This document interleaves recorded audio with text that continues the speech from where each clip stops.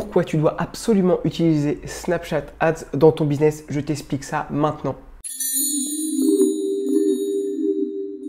Ça va être une vidéo très très courte mais qui va être très importante car avec un seul graphique tu vas voir pourquoi il est absolument primordial d'utiliser Snapchat Ads dans ton business. Je vais donc te présenter aujourd'hui un graphique qui va te mettre en perspective que les utilisateurs de Snapchat n'utilisent pas les autres réseaux sociaux. Ce qui veut dire que les audiences sont uniques Snapchat. Le graphique qui vient d'apparaître à l'écran, c'est un graphique qui date euh, de 2020, donc qui provient directement de Snapchat et tu vois que c'est les audiences qui ont plus de 16 ans.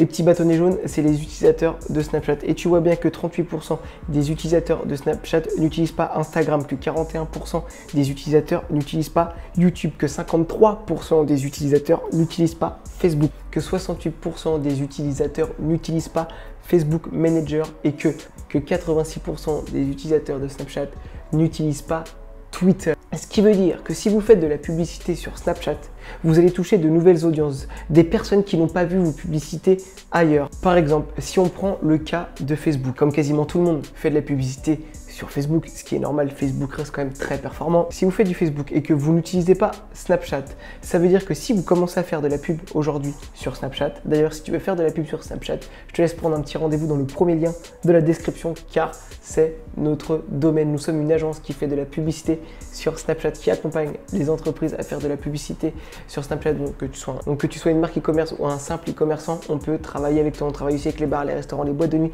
tous ceux qui veulent avoir de la visibilité sur Snapchat c'est vers nous qu'il faut se tourner. Donc voilà, je te laisse prendre un petit rendez-vous, ça me fera plaisir de t'accueillir. On reprend notre petit exemple. Vous voyez bien, je vous fais apparaître le graphique que 53% des utilisateurs de Snapchat n'utilisent pas Facebook. Donc si tu fais du Facebook et que tu arrives tout de suite sur Snapchat, ça veut dire que quasiment la moitié des Snapchatters ne te connaissent pas. Donc tu vas avoir des nouvelles parts de marché, des nouvelles audiences. C'est primordial si tu veux scaler ton, si tu veux augmenter ton chiffre d'affaires, il faut absolument que tu ailles sur Snapchat, que tu vas te développer vers une audience qui ne te connaît pas. Ça veut dire que, prenons un exemple, tu es une marque de bijoux tu fais de la publicité sur Facebook. Demain, si tu arrives sur Snapchat, tu vas potentiellement toucher 50% des personnes en plus qui ne te connaissent pas. C'est absolument considérable. Donc fonce sur Snapchat.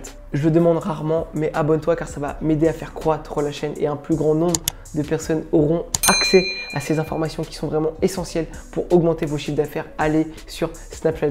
Je vais donc te demander deux choses après de t'être abonné, potentiellement avoir partagé la vidéo. C'est effectivement de prendre un petit rendez-vous avec moi pour savoir un petit peu plus sur ce que je propose et aussi de mettre ton email dans le deuxième lien de la description pour que moi je puisse t'envoyer une formation totalement gratuite sur Snapchat qui va t'apprendre les codes de la plateforme et comment faire de la publicité et performer sur Snapchat. Moi je te dis à la prochaine et abonne-toi.